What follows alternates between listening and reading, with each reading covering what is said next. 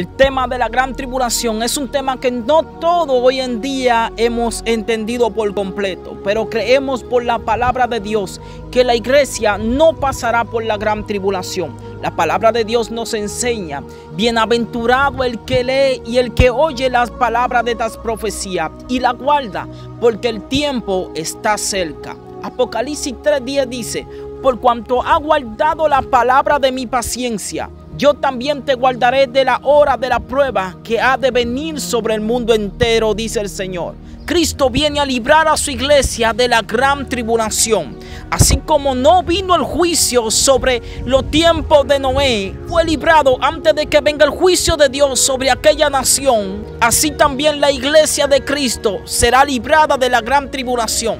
Así como en los tiempos de Sodoma y Gomorra, que no vino juicio, sino que Lot y su familia fue librado. Y luego vino aquel juicio de Dios sobre aquella nación. Así también la iglesia será librada antes de que venga la gran tribulación. Por eso creemos que la iglesia no pasará por la gran tribulación. Primera de Tesalonicenses 4, verso 16 dice, porque el Señor mismo, con voz de mando, con voz de arcángel y trompeta de Dios, descenderá del cielo y los muertos en Cristo resucitarán primero. Luego nosotros los que vivimos, los que hayamos quedado, seremos arrebatados en una nube para recibir al Señor en el aire y así estar siempre con el Señor.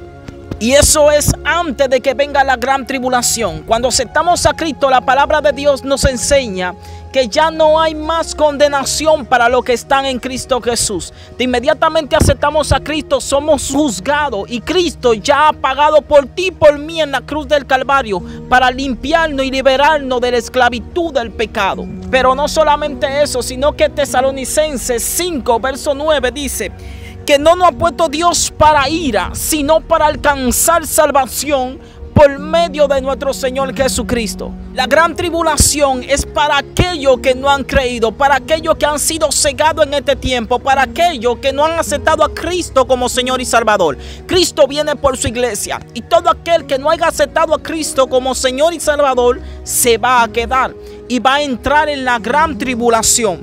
Por eso es que dice la palabra que estamos viviendo principios de dolores. Queriendo decir que lo que viene va a ser peor. Los tiempos irán de mal en peor. Jesús habló claramente de la gran tribulación. Que cuando ustedes vean todas estas cosas sepan que yo estoy a la puerta. Que Cristo viene por un pueblo que se ha guardado en santidad. Y la palabra de Dios nos sigue diciendo, hablando de que nosotros la iglesia no pasaremos por la gran tribulación Primera de Tesalonicenses capítulo 1 verso 10 dice, esperar de los cielos al Hijo, el cual resucitó de entre los muertos, a Jesús, quien nos libra de la ira venidera.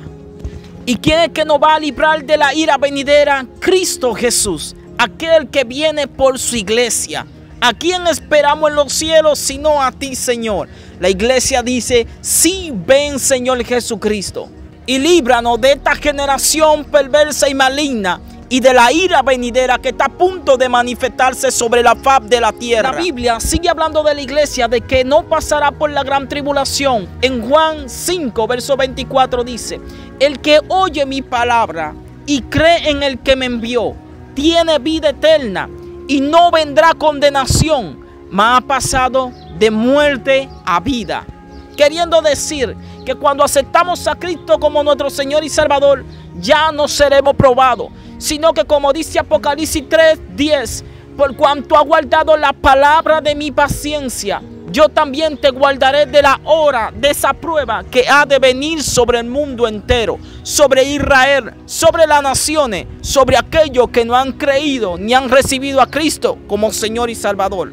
Estamos viviendo tiempos difíciles y peligrosos, principios de dolores. Pero la ira de Dios será derramada sobre aquellos desobedientes, sobre aquellos que no creyeron y sobre aquellos que no recibieron a nuestro Señor y Dios como Salvador. Romanos 5, verso 9 dice, pues mucho más estando justificado por su sangre, por él seremos salvos de la ira que se va a derramar en la gran tribulación.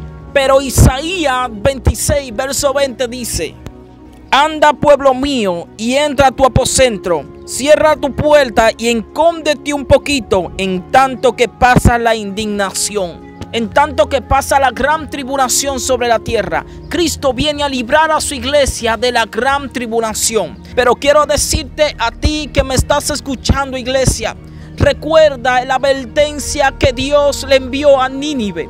Nínive se arrepintió. Aquella nación en aquel tiempo fue salva.